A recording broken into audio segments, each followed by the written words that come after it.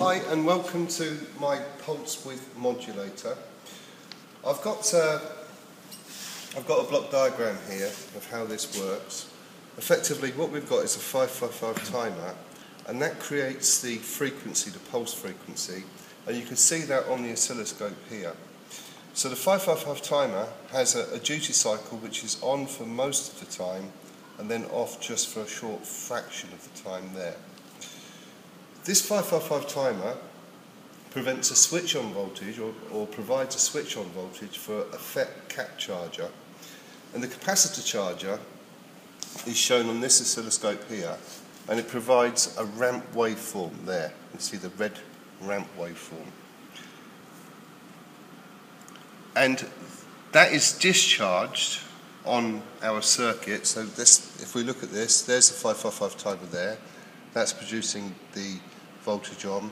This is the FET cap charger and that's discharged here by a transistor using a BC109 transistor. And effectively what happens is we get the this output waveform here is fed eventually to a comparator on my block diagram there.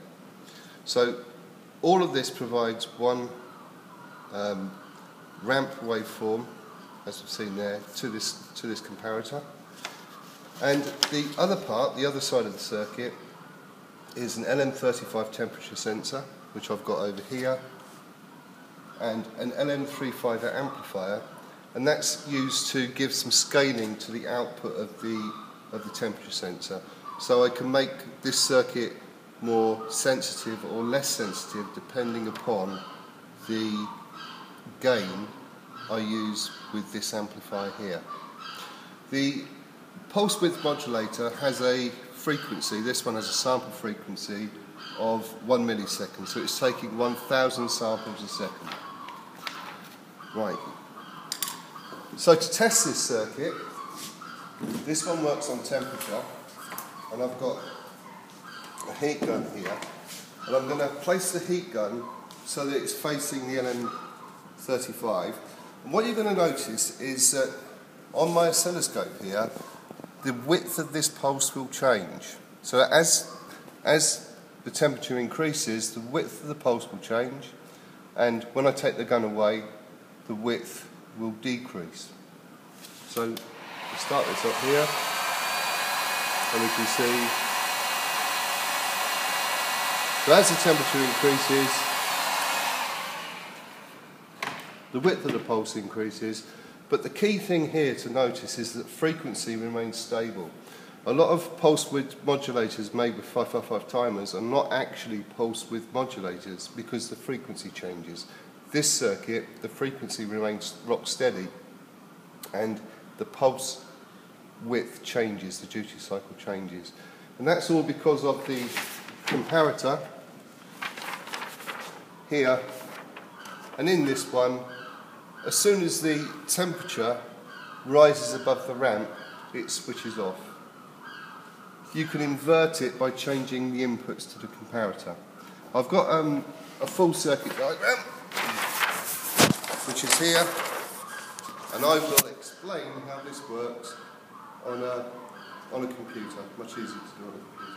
Okay, thank you very much. Hi and welcome to my circuit explanation. The heart of this circuit is the 555 timer which we have here and this one's set up to give a frequency of 1 millisecond. Now you can set that to whatever you want but my one has a has that frequency 1 millisecond. The interesting thing about this 555 timer is that it has a duty cycle where the output is predominantly on. So we look at some duty cycles here. This top one, the output's predominantly off. This one it's 50-50. But on my one, I have an output from the 555 timer, pin 3, which is usually, for the most part, on, and it's just off for a fraction of each millisecond. The 555 timer output feeds the gate of a MOSFET here, and it's the MOSFET that's used to constant current charge a capacitor, this capacitor here. The capacitor charges all the time the output of the 555 timer is on and then when the output of the 555 timer is off it goes through a NOT gate, forward biases and switches on a transistor, and this transistor here, Q1, discharges the capacitor down to ground through there. And that's what produces the ramp waveform. So if we go here, this is a ramp waveform here, and that's produced by constant current charging. Now the reason for producing this ramp waveform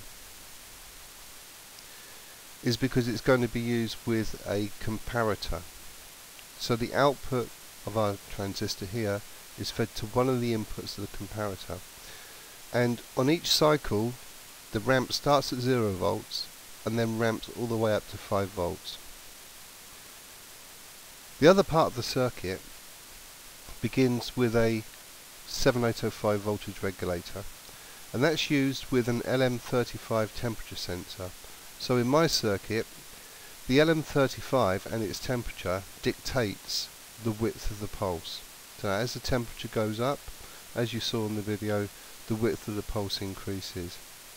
To make it scalable, I've I feed the LM35 into a, a simple non-inverting amplifier, and roughly speaking, my width of pulse goes from 0 to 100 degrees. So at 0 degrees, or around about 0 degrees, there'll be no width, and at 100 degrees, full width. The output of the amplifier goes to the comparator, to this input, the comparator here. When the temperature rises above the ramp waveform, the comparator output in this configuration will switch on. If you swap about the comparator inputs, the opposite will happen. So you've got flexibility. But effectively, that is all there is to the circuit.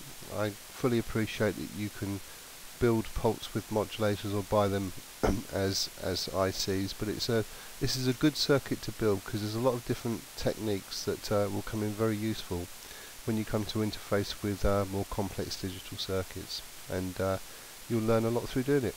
Okay, I hope that helped you and uh, have fun.